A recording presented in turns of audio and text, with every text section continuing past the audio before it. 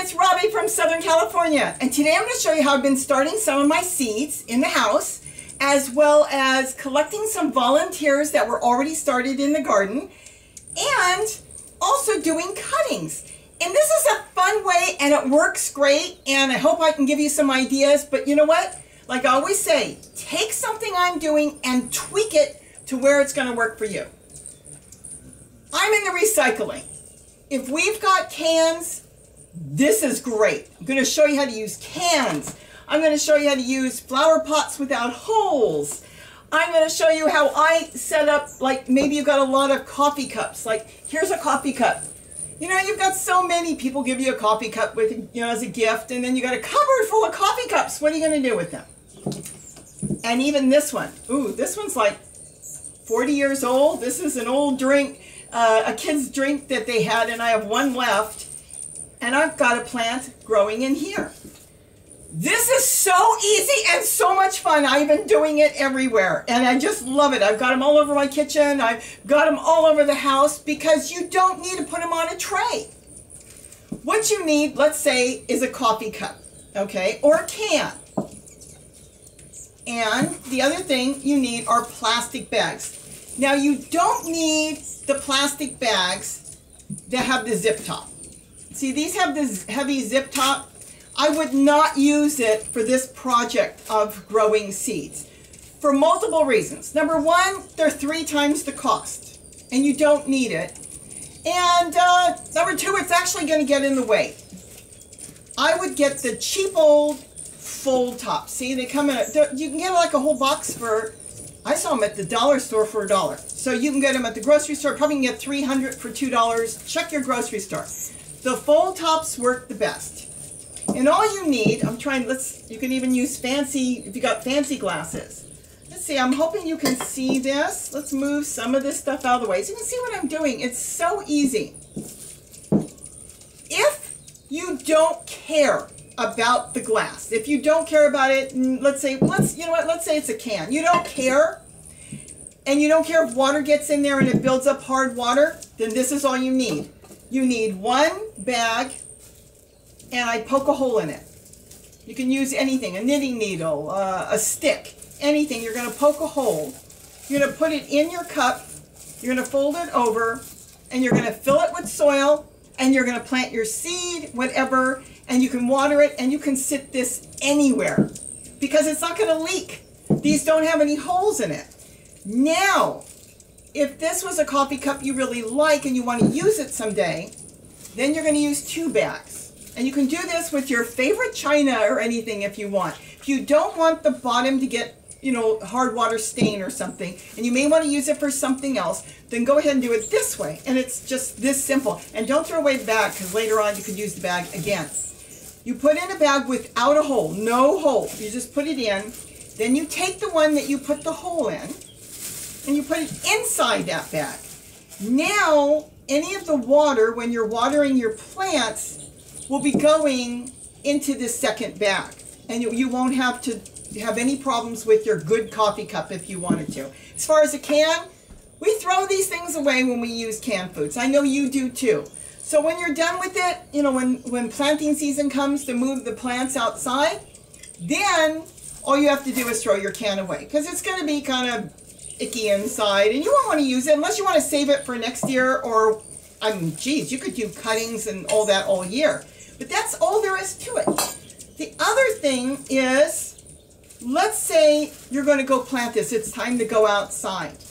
There are two ways you can do this. Number one it's this easy. Instead of pushing plants out and are you disturbing the roots you're going to lift the plant out. Now your plant's got all the roots growing around here. You have two things you can do. You could either just take the bag off. It's that easy because the roots are going to be all inside the soil because it's not going to grow onto the plastic bag. You could cut it if it was too twisted, you know, up and you wanted to trim the bag off. Or if you've got cutworms, cutter worms, you know, insects out there that get to a lot of your young plants, what you would do at that point, what I would do is leave it in the bag now this is not my paper cup system, and you all know my paper cup system, and this is something different where I don't take it out of the paper cup. That's another video. that I plant cup and all. You don't want to plant a plastic bag in the ground without doing this first. I would take a scissors and I would cut the bottom off. Or at least most of it. Doesn't even have to be all of it. I don't want to, let's see, I could do, you know let's do it here and I'll show you how it's done. Let me just move everything real quick.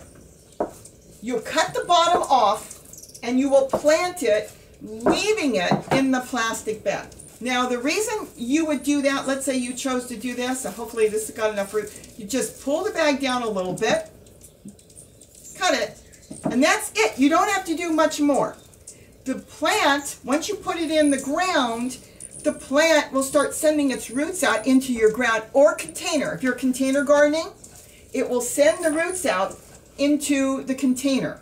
And then as the plant gets bigger, I would then at that point take a scissors or tear off the rest of the plastic bag or just yank it out. It will start to deteriorate a little bit and get rid of it.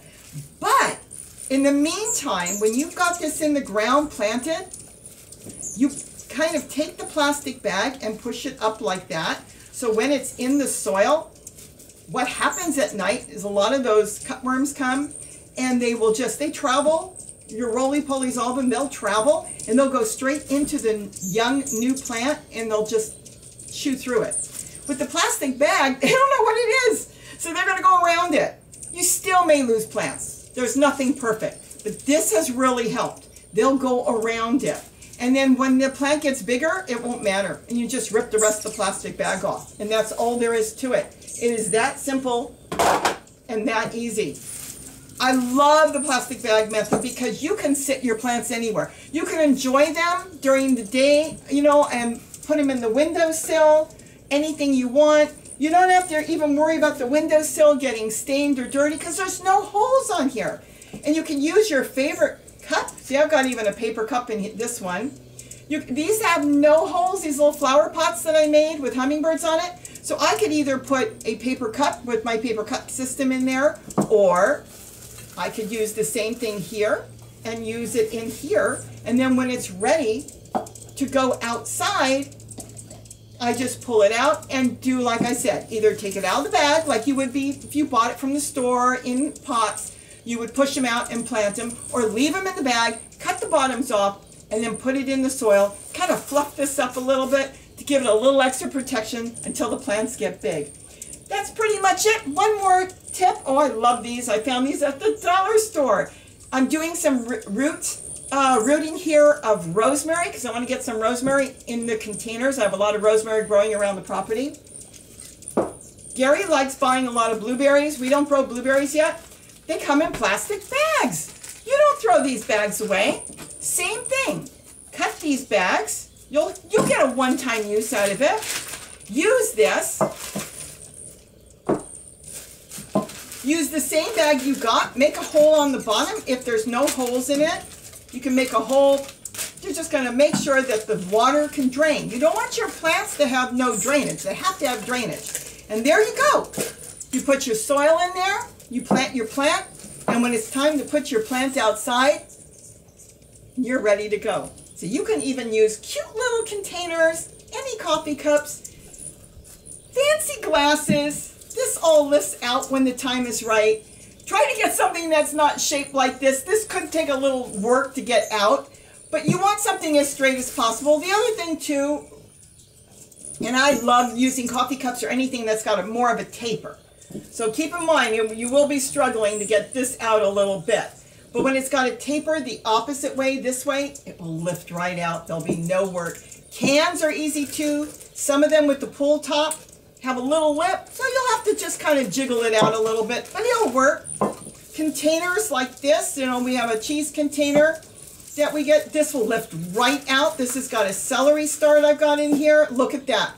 All I have to do is take this outside. I'm not disturbing the roots, and I can plant it, take it out of the plastic bag, and like I said, if you want to protect the plant, actually this is not celery, this is flat leaf parsley. If you want to protect the plant, just cut the bottom off the plastic bag and plant it right there. That plastic bag is so thin, later on you can just tear it and get rid of it out of your garden. So I hope I've given you some ideas.